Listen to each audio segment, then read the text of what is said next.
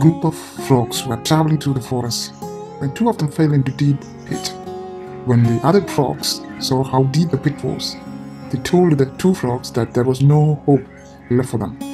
However, the two frogs ignored their comrades and proceeded to try to jump out of the pit.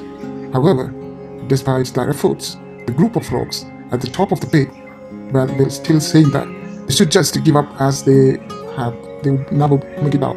Eventually, one of the frogs took heed of what others were saying and he gave up, jumping even deeper to his death. The other frog continued to jump as hard as he could.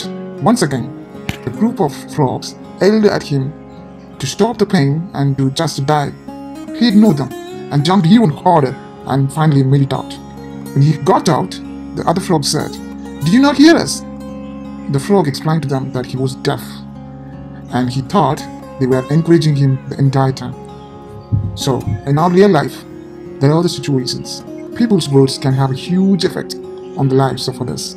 Therefore, you should think about what you're going to say before it comes out of the mouth.